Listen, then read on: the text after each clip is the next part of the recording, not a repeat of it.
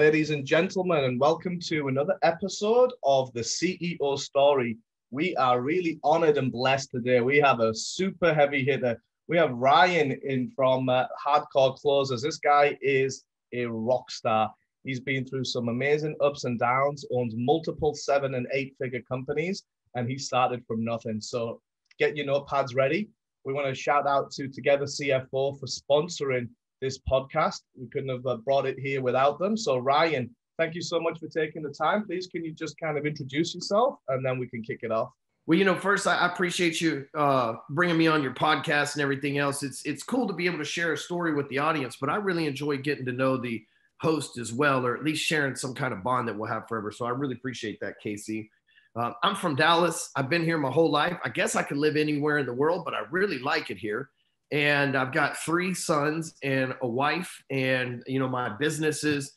Uh, they're all around the world. We have businesses in multiple states, and we have clients in pretty much every continent on the planet. Uh, but man, I just really like Dallas because it's in the middle of the country, and it's easy to get in and out in an airplane to get at events and stuff like that. So I'm a I'm a, a true thoroughbred Texan, I guess. Uh, all right. anything else. Well, Cowboys, then, right? Man, you know what, dude? It's I, I I'm I'm I'm so focused on winning all the time. It's hard for me to, to you know what I'm saying? Like I'm just gonna say like I belong to Jerry Jones's private club. Like it's it's maybe two miles from my house. I hang out there on a regular basis, man. But lately I ain't been hanging out so much, right? Because I don't want to get caught. like it's embarrassing, man. But but yeah, go Cowboys. You know, All maybe right. next year. Go Cowboys in 2021. You'll get back to that great success that you had back in the days, I'm sure. So yeah. let's jump into it. We want to be respectful of your time as well. So when you initially started out, you were kind of in real estate and loan officer type roles. And you went from that, and now you've built this whole global empire, which is phenomenal. Multiple different businesses, different verticals, and there's a lot to consume there, even if someone just looks at the, the amount of accolades that you have. So, congratulations, firstly. But if someone's listening in and they're kind of at the start of their journey or they're stuck along that journey, uh, can we kind of dig into how you went from where, when you were just a regular loan officer to now being a multimillionaire, working and impacting tens of thousands of people on a daily basis, and chunk that down into smaller, actionable steps? Well, I think first with, with my particular situation, I gotta I gotta take it back because this is what most people's like where did you get your first break? We'll call that loan officer, and then what happened from there. But but really, I want to talk to you because there was some things that I didn't do before that. They would have they would have never. I wouldn't be where I am today. Yeah, so, foundation setting, right? Well, so uh, you know, at a young age, I, I was adopted, and uh, I was like five or six years old, and and moved around a little bit. It's kind of like the our family got in some trouble with the bankers in town. And so we were kind of like a, a, stigma family, you know what I mean, in the small town. And we moved back to the big city. We moved to the big city, couldn't make it. Anyway, dropped out of high school, wasn't my thing. End up, you know, dealing a little bit of drugs, end up using a little bit of drugs, end up doing a little bit of time in prison. And when I got out of prison, I was probably 21 or 22 years old, and I had been in some hardcore prisons. And uh, when I got out, I just told myself, you know what? The thing that's going to separate me from everybody in there is my work ethic. I'm going to outwork. I'm going to do so. I'm going to make something in my life. I went to work at a car wash, started off vacuuming cars. I worked, man, I, I went to work for my stepdad at his car wash. He was so pissed at me that I'd been to prison and everything else that, long story short, he made me start from the bottom at minimum wage. So all these people talking about hiking minimum wage and shit. When I got out of prison, I worked for minimum fucking wage, which wasn't even seven bucks. It was like $5.50 an hour back then but I worked 70 hours a week so I could get overtime and make ends meet. Now, how did I get 70 hours a week? I outworked everybody else. So they wanted me to fucking work because they knew the job would be done right. Okay. So after a couple of years of doing that, one of the customers comes into the car wash. There was a regular customer and offers me a job in the banking business. And I'm, on a mission to own this car wash one day. I'm like, if I just work and save my money, uh, at this point, I'm making about 10, 50 an hour, right? And then a little commission because I'm selling car washes too. And so, you know, I'm, I'm doing okay. I make about 50 grand a year.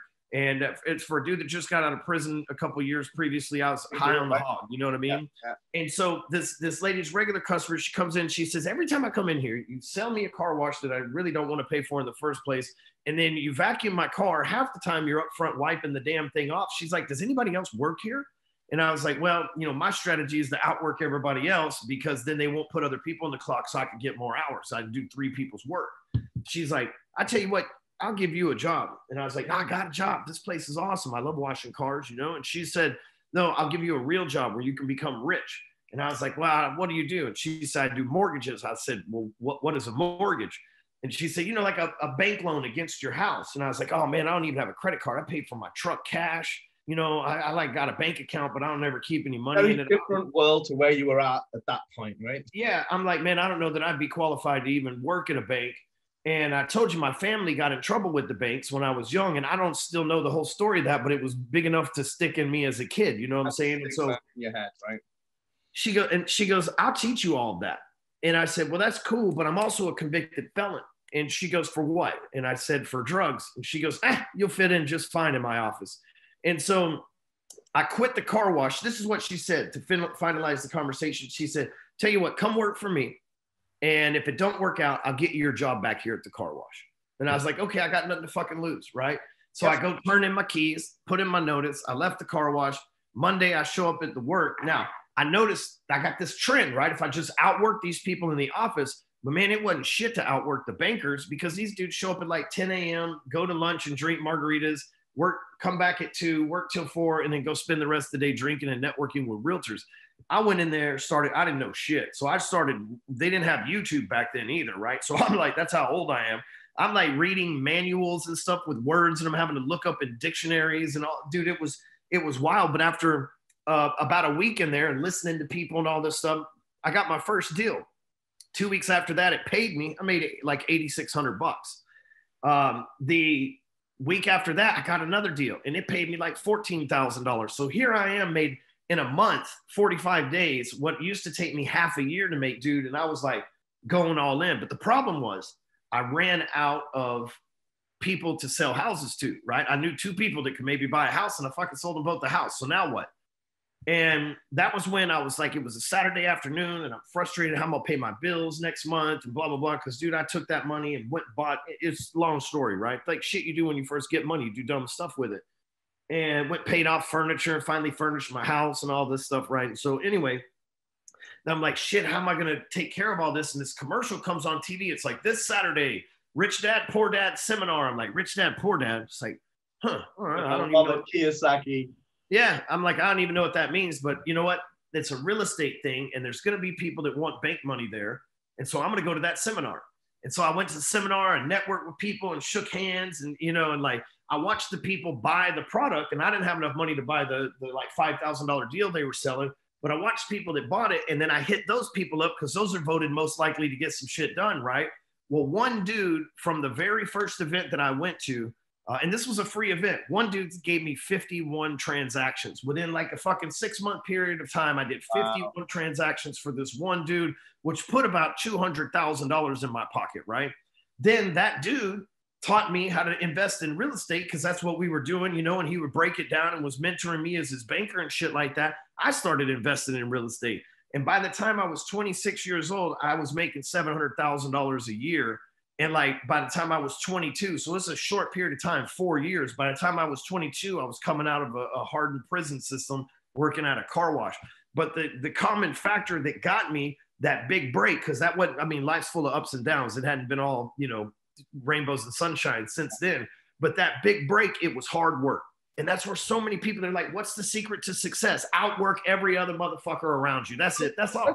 Let's break that down, right? Because that's easy to say, and people, a lot of people just don't have that commitment to doing it every single day.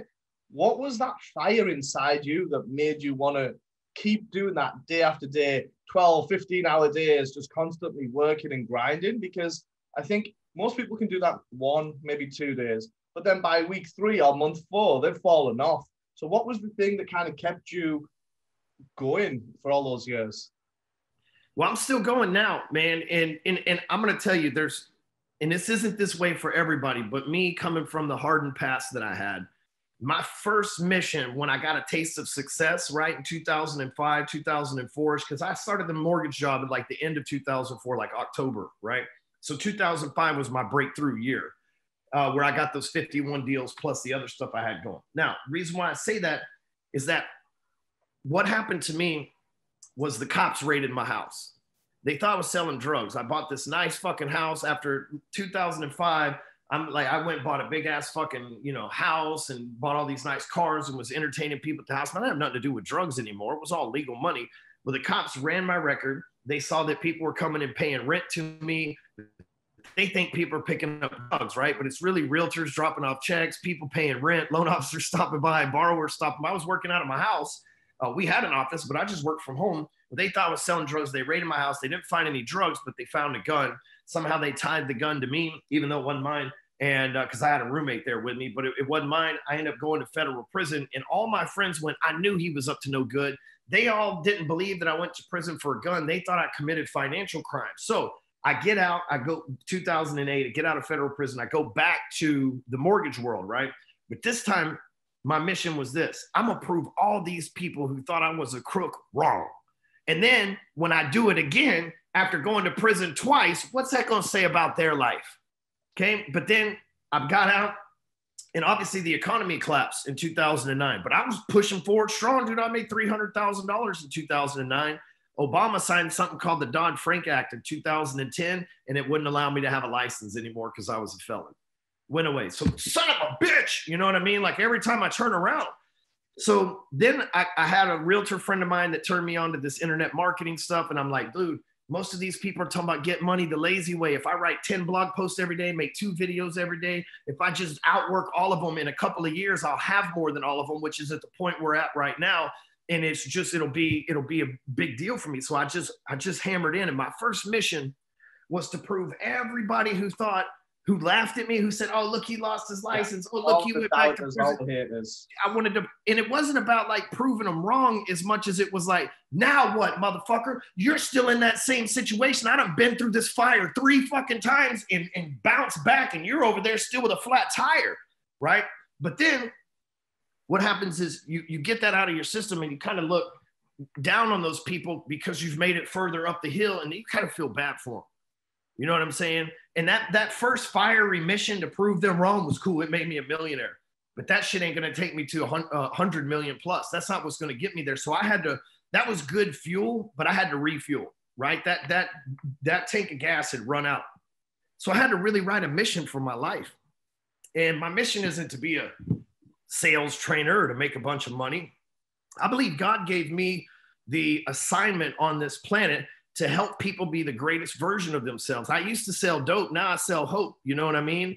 And I love and, that phrase. I used to sell dope, but now I sell hope. That's me, baby. You know, and and that's what I'm doing. I like this story, right? I'm not telling you the one, two steps in business or how to do real estate or mortgages, but what I'm showing you is that it would have been easy for me to say, hey, they were right. This shit ain't for me. Hey, they were right. You know, I am a loser. Oh shit, the cops got me again. This must not be for me. But no, I just figured those are stepping stones on the way to success and never stopped until I got there. But here's the cool thing now, ladies and gentlemen. I got a garage full of exotic cars. I live in fucking a huge house. I have kids in private school. I don't have debt, debt free, other than a mortgage and a couple car payments right? Like, because why would you pay cash money for cars or houses? But I don't have any business debt. I don't have any credit card debt. I ain't got no student loans. I don't have any debt on the businesses or the assets that I own. It's all fucking free and clear, bootstrap from the bottom. So, and, and you just heard that I came, when someone says they come from the mud, I'm telling you that's where I came from. And if I could do this shit, my whole hope for you is that you'll go, man, this guy, he don't even seem that smart, man. If he can pull this shit off, surely I can outwork enough people to make it in my own way too. Absolutely. I think, and I think that's the key, right? Is having that internal fire and realizing, hey, that fuel that was there because I wanted to prove everyone wrong is now run out. What's my next? Where do I get the top up of fuel? And kind of knowing yourself well enough to to re-engage yourself to move to that next new higher level, right? Well, I mean, you know, when you prove them wrong, you prove them wrong. What are you going to do? Prove them double wrong? You know what I mean? Like I already proved them wrong. So that wasn't going to work for me anymore, you know? And, and what happens though is if you don't find my first mission, prove them wrong. Second mission, help people be the greatest version of themselves, right? And so in the second mission is a lot bigger because there's a lot less people I had to prove wrong than what I, I didn't have to prove 20,000 people wrong, but I've changed 20,000 paying customers' lives. You know what I mean? And so for for me, I had to get new fuel because if you don't get new fuel, you'll get lazy. You'll be like, I proved them wrong. Now I can rest. No, no, no. You got to get another mission so you can keep going. The force of average wants you to be average. It wants you to rest. It wants you to take your foot off the gas. That's the algorithm on this planet and how it works. If you're going to beat that shit, you got to keep going. And the only way to keep going is not craving more money. It's not craving more attention. It's coming up with a mission that's so big you'll never complete it till the day that you die. And I think that's a really good point. When you look at most successful people, they never really stop. They're always going regardless of how old they are, they keep going because they've just got that nature and it's just so wired into them at that point that they can't just stop and play golf and see out the rest of their life like that. It's uh, you have to have. We know what happens when they do, right? People retire, they stay at home, they're fucking dead a month yeah. later, you know. Absolutely. And and I don't think that we should ever retire. I think that was that that's an idea that comes from factory workers and indentured servants, basically slaves, right? to where you've worked long enough that you don't have to work anymore.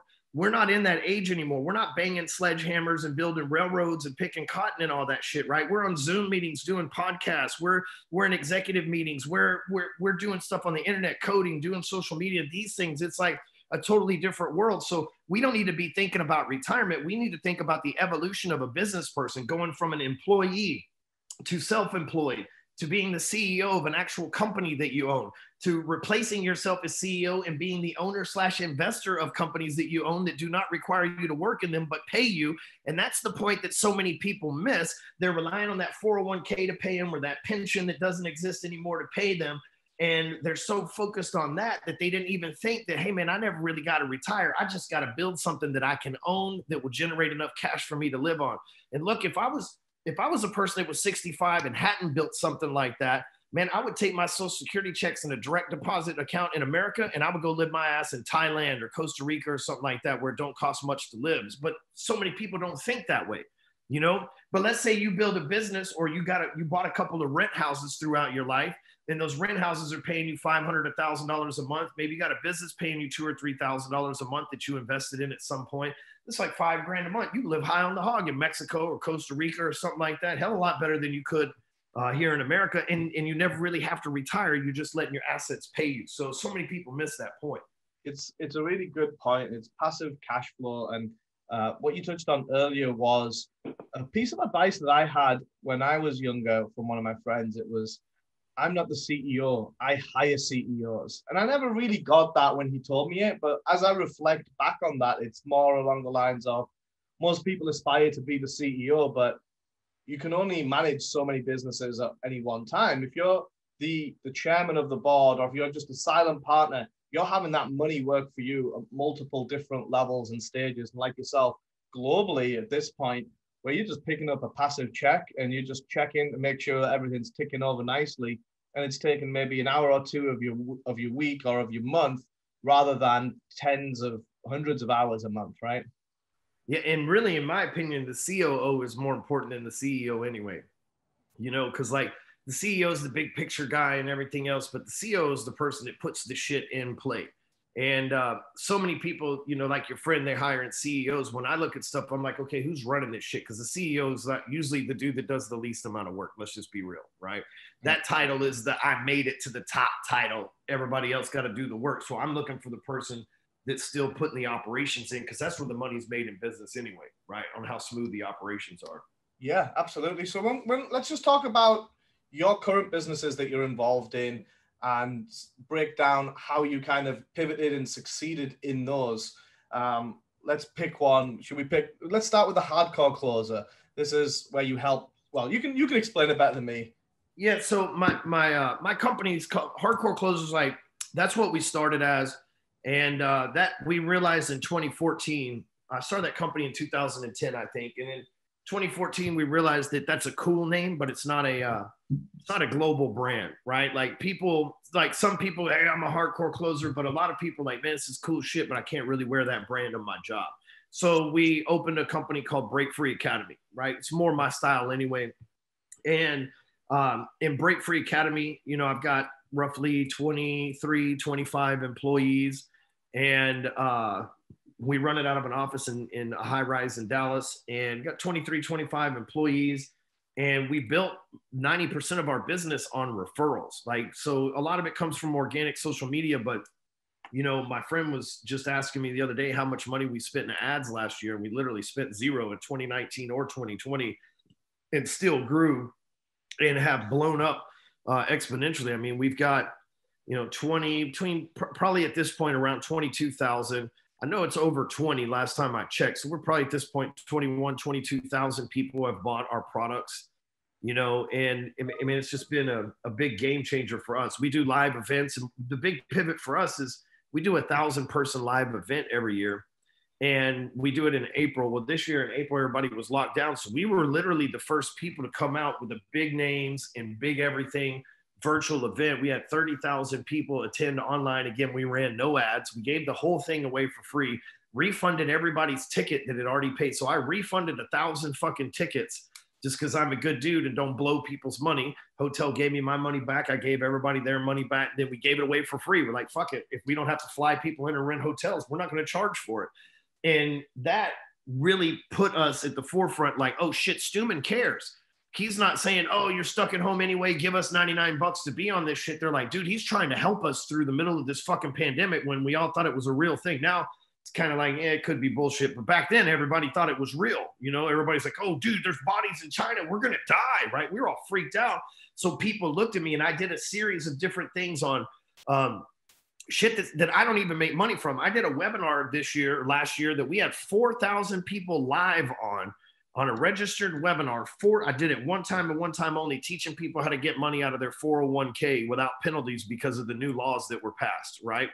And just like shit that I know to do that I teach the guys that work with me and my clients with how to do. And so man, we just helped a ton of people. And so this year that built so or last year that built so much goodwill that dude by the time October, November, December came around, we were doing four times what we were doing in January.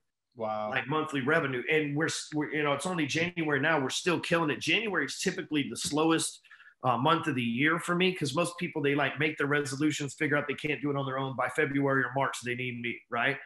And so January is typically slow. Dude, we've had the, the biggest January right now.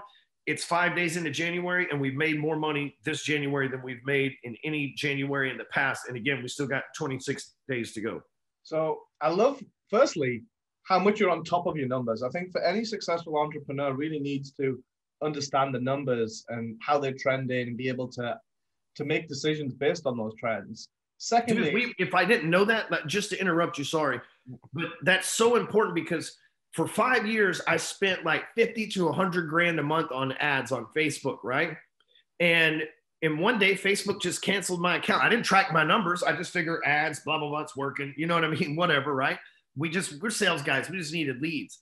Then one day Facebook banned my account. I don't know why. Maybe hardcore or something like that. Finally, it caught up with their AI or whatever, right? I couldn't get anybody to get my account back on despite spending all that money, but I never had a rep. I just knew what to do. And I thought, you know what? Fuck it, we'll see. You know, we'll see if we got to run ads. The next month we made more money. The next month after that we made more money. For two years now, I didn't run ads, so there's no telling. Now I'm sure those ads helped me out to one degree or another. But there's had I been tracking the profitability of that shit and realized that most of our stuff came from referral and organic anyway, there's no telling how many millions of dollars I could have saved over those years to put into infrastructure and other stuff. But lesson learned, you know, better late than never. And that's the key thing. You did learn the lesson, and now you're on top of your numbers, and it can tell just by that comment on the January versus previous Januaries and knowing how far along you are in your month. I think any successful business owner that needs to be on top of their shit needs to know the numbers intimately well. So that that's a really really good point. And then the second part that I really like was uh, the value add it's really is about you caring and providing value and not trying to just make a quick 97 bucks which makes no difference to your lifestyle at all. But to someone else who's struggling to pay that $97 and travel to Dallas or wherever the event is it's the it could be a life-changing difference for them. So i really like that in terms of the people listening is how can you add value to others? It doesn't have to cost you anything but if you've got some knowledge that you can share that can help someone else that's in a darker place or just needs a little bit of a push, then the right thing to do is just help them however you can, right? Yeah, you know, that's one thing that's been really cool about the way that we've been doing events since 2013 or 2014, 2013. And we've done them with some people that are on TV and then eventually did them myself. And, you know, I have a lot of friends that are big names that get paid big amounts of money to speak on stage that, you know, don't charge me. And I don't charge them when I go out there either. I get paid, you know, 25 grand to speak on stage, but I have relationship with these core 20 people, we'll just call them, that are big names that everybody follows that that normally would be 50 or 100 grand to speak but i can call them up and say hey you want to do million dollar mastermind this year and i do them probably every other year so i'm not burning the, the relationship unless they ask you know what i mean and dude every year we have celebrities professional athletes super bowl winners influencers that come and speak because they love my crowd so much man we we attract such good people and you know that was a big deal. There's some people that threw against last crowd, year. Ryan, it's that they love you as well. Is that they see the value that you're bringing to the world. And so yes, the crowd is good and receptive, but it's the the fact that you're a real good dude. Because if you weren't a good dude, they wouldn't be taking those calls. They wouldn't be doing that for free. So there's a whole That's element true. of you really giving back from your heart and trying to better other people through the ups and downs of life. Well, yeah, and that's that's what I'm saying is like some people. Let's say that you want to get Eric Thomas to come out for fifty grand, right? Like you got to pay him up front. So some people planned events in July. They paid Eric in January to reserve him because he's booked months out, right? And and you know maybe he, I'm sure he gave the money back. He's a great dude. But there's a lot of speakers that were like, you know, shit, it is what it is or whatever, you know, and and that's in the contract. If you cancel, I keep it. And so not everybody could refund stuff. And so man, I'm fortunate that I got such good friends that you know, that, that don't even ask me to pay for their airline fare and shit like that that'll speak at these. So I was able to give everybody their money back without any hassle.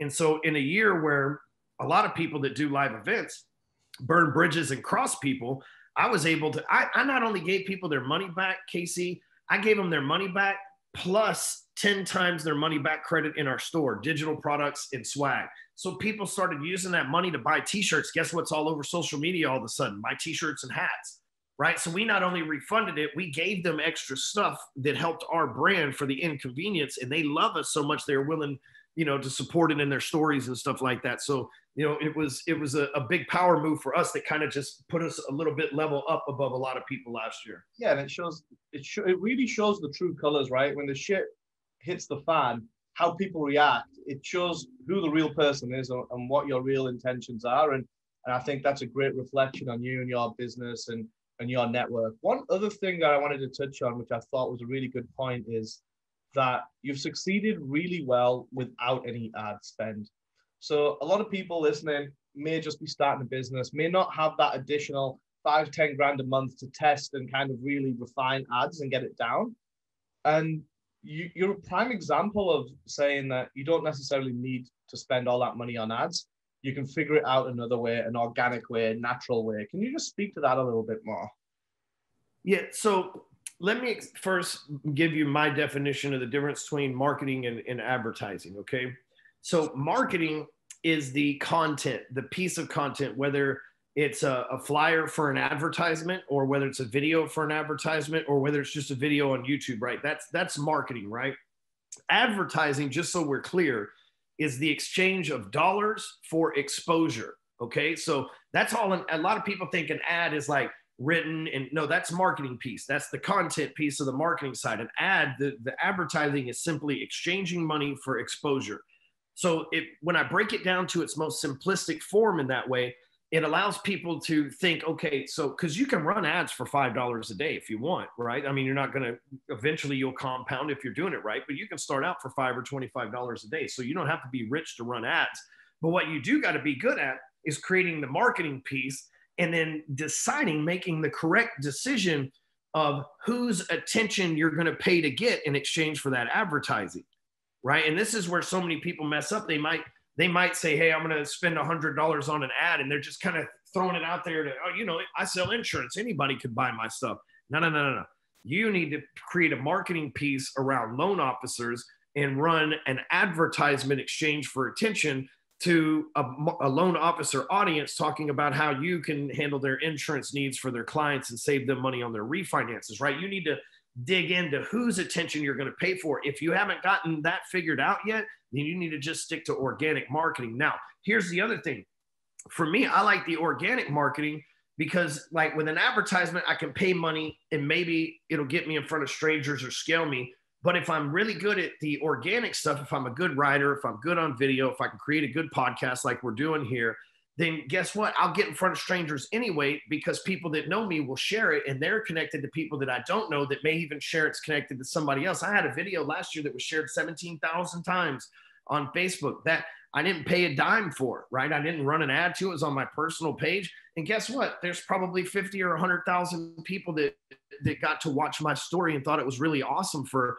a couple days during the quarantine and that probably have followed me and bought some of my stuff by now, you know, which is a really cool thing. But I didn't have to pay for that. So my focus isn't so much on the advertising anymore, it's on making the correct – because here's the thing facebook will advertise for you for free if you create good content it'll put it in front of more people it'll show, you know what i'm saying it'll put it on the different distribution channels all that stuff and same with youtube or instagram or anything else so you know first you got to dial in with that marketing piece and then oftentimes if you get good with that marketing piece you don't even have to run ads because it'll take off on its own and I think a really good point is niching down. If everyone is your customer, then no one's your customer because you're spreading yourself too thin. It's really understanding that avatar. What are their specific pain points in their industry? And does your solution really solve that? And if it does, the messaging should naturally resonate with that person.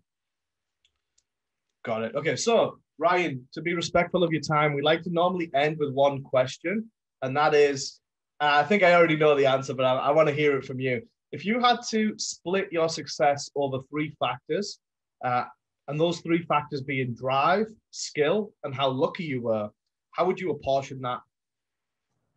I would say 90% drive, 10% skill, and 0% luck, man. Yeah. you know, in the beginning, like now I would say that it's probably 50 drive and 50 skill because I've worked on my skills for the last 12 years. But in the beginning, it was definitely 90% drive, 10% skill, and and those were limited skills. But I don't ever think I've considered myself lucky. Uh, well, how do you work, the luckier you get, right? It's a saying that I hear a lot. That's not always true either in my case. But you know what? I uh, I, I don't want to be lucky. I like. I feel like it, when you're you're up in heaven before you're born. This is all metaphorical, but you know, and, and, and God's like, so what what what level you want to play this game down on this planet on, right? And, and I'm like, man, I must have said super extremely hard. Let me get, let put me in. I'm gonna beat it anyway. You know? Yeah. Great, fantastic. So if every, anyone wanted to reach out to you, what's the best way for them to be able to contact you? Yeah, just go to hardcorecloser.com. Everything's there. There's, you know, 2,000 plus articles, a thousand videos, all my podcasts, which we got 2 million monthly listeners on my podcast on Rewire all the information about everything I do, connect with me on social media. It's all at hardcorecloser.com. And we'll put the links down there and 5 million plus views on YouTube as well, and many other millions of accolades that uh, we don't have time to list them all. But Ryan, thank you so much for sharing with us. It's been an amazing experience, and I'm sure you've offered lots of value to the listeners. So thank you so much. Yeah. Hey, you know what, folks? Ain't nothing to it but to do it now. So get after it.